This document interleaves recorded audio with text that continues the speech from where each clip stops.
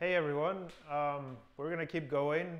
Uh, first thing I want to mention is we have a webinar at iNECTA on the 12th, so please check it out. It's a finance tips and tricks or something like that. I'm sure it's to be awesome. You can just log in, it's free. So if you have the time, sign up, uh, join us. But other than that, we're to get straight into this uh, video's topic, which is location. So actually, locations are fairly complicated in Business Central or in general in, uh, in businesses.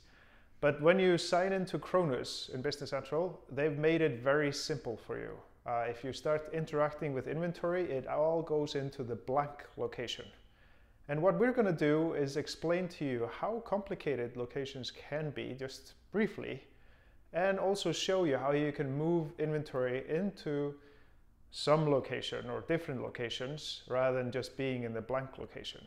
Uh, I'm sure you were wondering when we were doing the videos on supply and demand and purchasing where the inventory was going. Um, and so I'm going to show you that. But first, let's take a look at a diagram.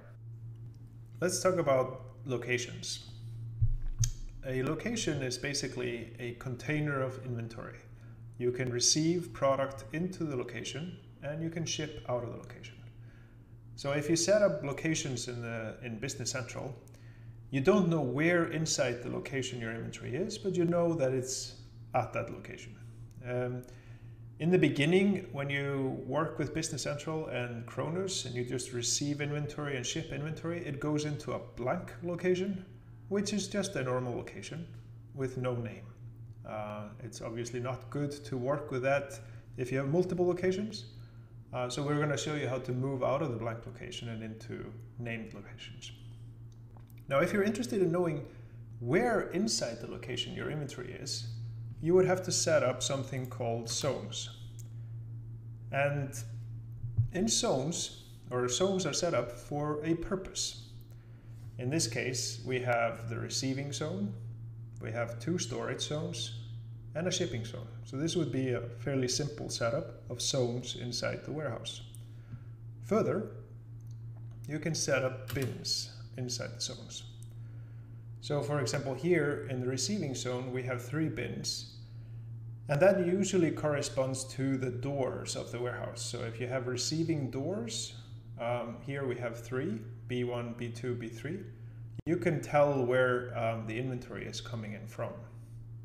And then the inventory would get moved into storage and then picked into shipping and shipped out of one of the shipping doors. So you can manage your inventory by bins all the way through. Now this is much more complicated than we've gotten into yet. Uh, and we're not going to go into that in the video, at least not this one. We might in our further videos, but it will give you an understanding of how you can break up locations in Business Central. Now let's look at the application. Uh, if we go into the search and go into locations, we come to a list of locations. Now here we have basically three normal locations and two not as normal locations. Uh, the normal locations are east, west, and main. Uh, these are normal uh, locations that, although they don't have any bins or any zones, uh, they are proper locations. The outsourced logistics and own logistics, these are in-transit locations, and they are only used for transfer orders, which we will cover uh, later. So what we want to do is move our inventory of the coffee mugs from the black location into the main location. So let's go ahead and go into items. Uh, and I am going to just view by tall tiles because I love the pictures here. And I can see that I have 20 pieces of my iNECTA coffee mug. And all I have to do is just go into uh, an item, adjust inventory. And I can see here that I have inventory 20 but it's in an unspecified location. So this is how Business Central handles when you are not specifying the location and you allow to actually post into a blank location.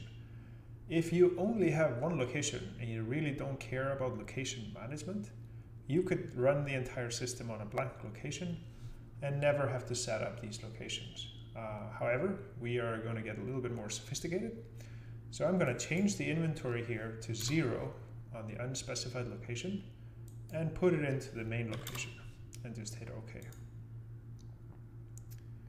And now the system actually moves the inventory. It registers a negative adjustment to blank and positive adjustment to main. So if I go into my coffee mug again here, I can then go into navigate and see the availability by uh, location.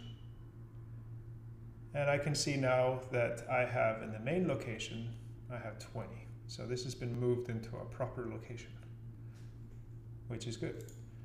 Now let's quickly take a look at locations again. If I go into uh, one of the locations, for example, the main, and take a look at that, I can see that we have information about where it's located, uh, who is the contact, etc.